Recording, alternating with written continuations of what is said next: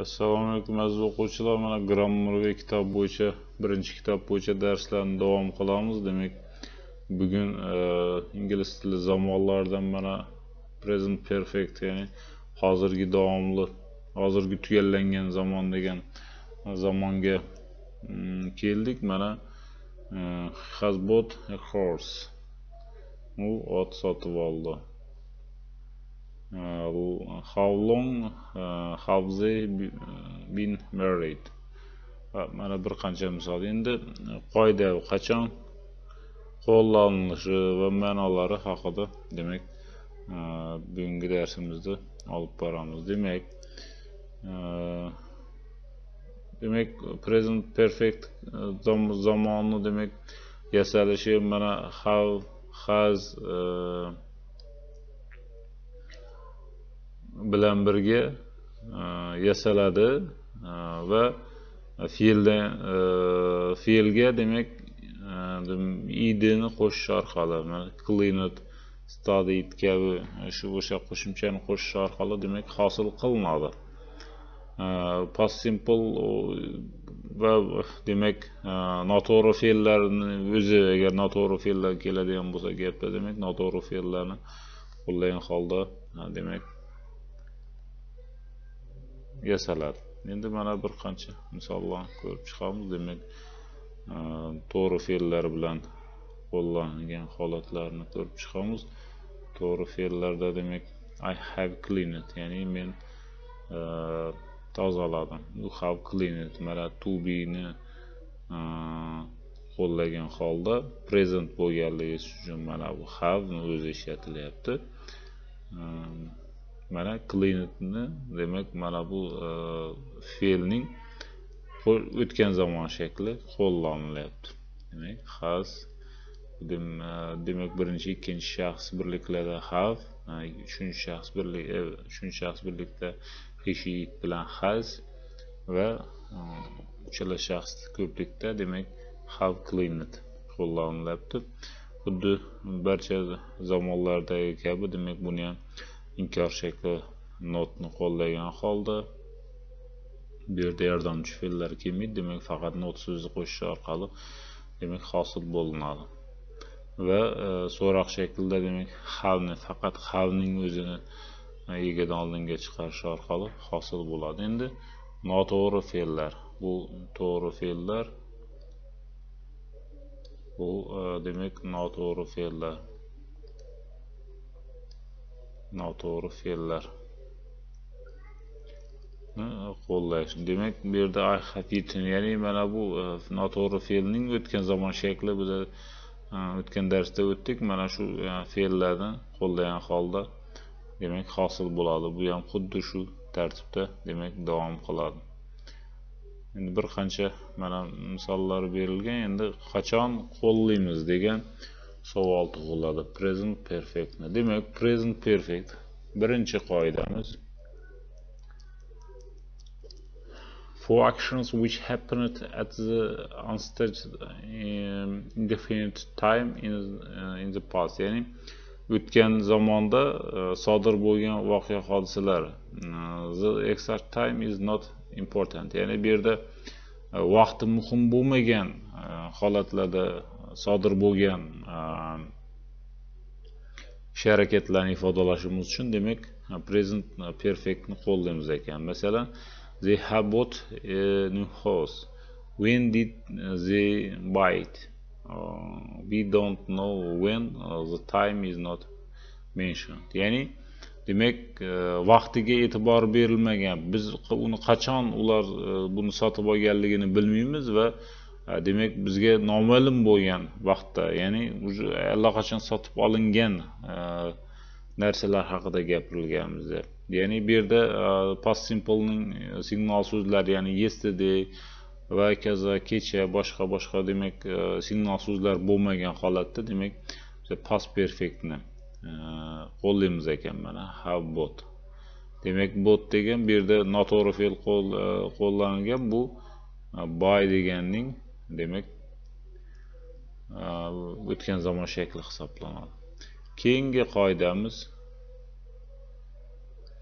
uh, for actions which started in the past and still continuing in the present. Ya'ni o'tgan zamonda ish harakat boshlanib demak mana boshlanyapti va e, hozirgacha davom qilayotgan ish harakat I have known Mary e, uh, 14 years. Man demak Maryni 10 yildan beri bilaman we meet 10 years ago ya'ni 10 yil oldin uchrashgan va hozirgi kungacha demak bir birini biladi bular. Demak shunaqa gaplarni qo'llagan paytimizda present perfect qo'llaniladi ekan.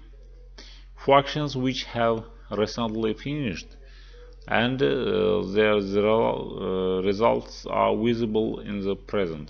Ya'ni uh, Э, biror bir ish harakat э, hozirgina tugagan va natijalari e, endi kelajakda e, hozir e, bilinadigan narsa hodisalar haqida. Tom has just painted the tense mana.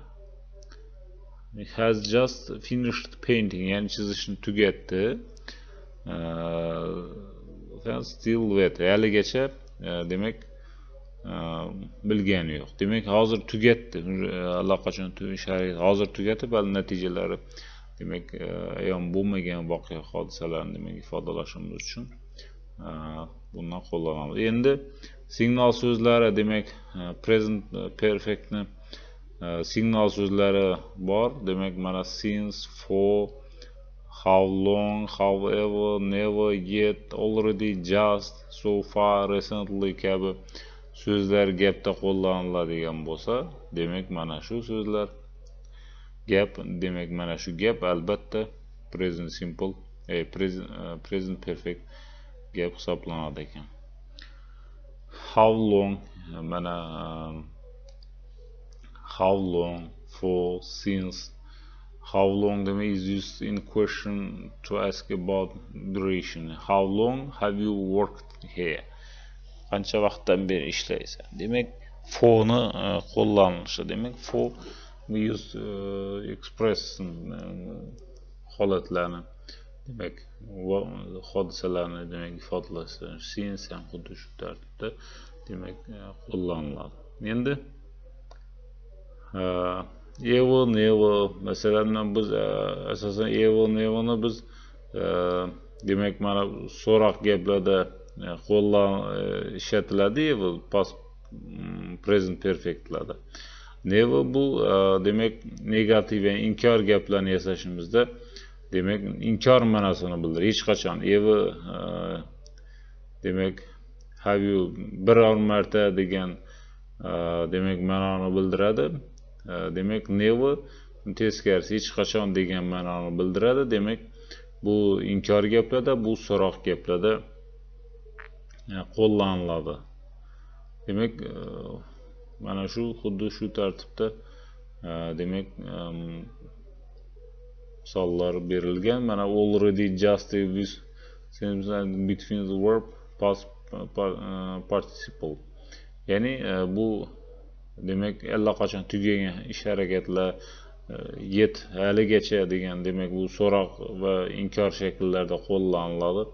Asosan demak mana xuddi shu e, tartiblarda demak e, mashqlarimiz bu yerda mana shu nimalar bo'yicha mashqlar berilgan mana qisqacha e, savol javob shakli demak bu yerdan have you bo'ladigan bo'lsa demak albatta ha deydigan bo'lsak yes we demak almost va have yo'q deydigan bo'lsak almost va have not xuddi demak xişiddə demək xəz e, ə, xollanladı, xəv emas xəz. Və e, ə, köplikdə demək e, xəv işlətiladi. Demək present perfect past simple bilan per, present perfectning farqi. Endi ə, mana shu ko'p abituriyentlar orasida bu tushunmovchilikga sabab bo'ladi. Demak, bu ikkalasini farqini mana ko'rib chiqamiz hozir. Bir qancha farqlari bor demak past simple ya'ni o'tgan oddiy zamon. An action which happened as a, at a start time in the past. Ya'ni demak o'tgan zamonda aniq vaqtda ish demak ish harakat tugaganligini demak bildiradi. Bildirish uchun demak biz e, past simple qo'llanamiz mana the e, bought a big horse 10 years ago ya'ni aniq mana e, vaqtini aytyapti. Demak xuddi shunday holatlarda biz past simple ishlatamiz endi present perfect. An action which happened at the unstated indefinite time. Ya'ni ma'lum bo'lmagan vaqtda sotib olingan sodir bo'lgan ish harakatni ifodalashimiz uchun demak present perfect. They have bought e, e yaxshi mana yaxta sotib olgan. When qachon? E, demak bu vaqtiga demak aniq bo'lmaganligi sababli aniq bo'lmasa demak shunday holatda biz e, present perfect ishlatamiz ekan. Keyingi farqi demak an action which starts and finished in the past. Ya'ni biror ish harakat o'tgan zamonda boshlanib va o'tgan zamonda demak tugagan ish harakatlarni ifodalash uchun tom Cron was an actor for, for 20 years. Ya'ni yigirmanchi asrda demak tom kron aktyor bo'lib yashagan degan holatda demak aniq bir e, ish harakat demak u o'tgan zamonda tugagan mana e, past e, present perfect an action which starts in the past and still is continuing in the present. Ya'ni o'tgan zamonda boshlanib o'tgan zamonda tugagan bo'lsa demak mana bu qo'llaniladi demak past perfect simple present perfect esa ya'ni o'tgan zamonda boshlanib haligacha davom qilayotgan. Uh, tom Cron has been uh, demak a director for three years. He started working as a director serious ago and he is still ya'ni 3 yil oldin direktor bo'lgan va bugungi kunda ham direktor bo'lish direktor bo'lib ishlayapti. Demak xuddi shu tartib shuni qo'llagan paytimizda biz uh, present perfect qo'llaymiz ekan.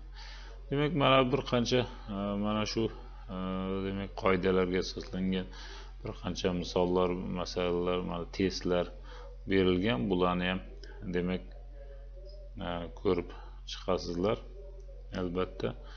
Demak tushunmovchiliklar bo'lsa e, aytasizlar. Demak keyingi darsda biz prepositionlar ya'ni e, predloglar haqida suhbatlashamiz.